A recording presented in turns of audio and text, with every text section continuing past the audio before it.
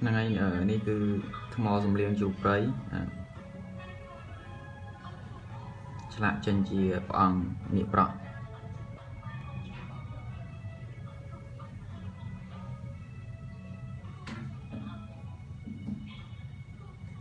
ខ្នាតធំតែម្ដង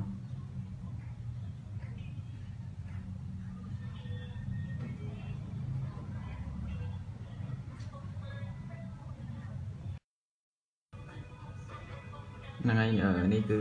ថ្មសំលៀងជ្រូកព្រៃ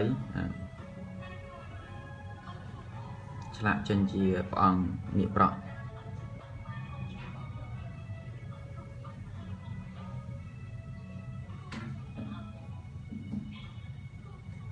ខ្នាតធំតែម្ដង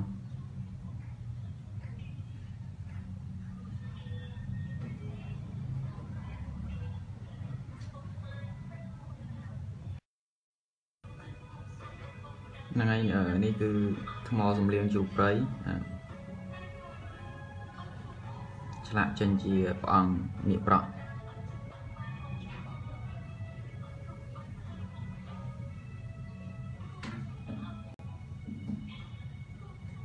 ខ្នាតធំតែម្ដង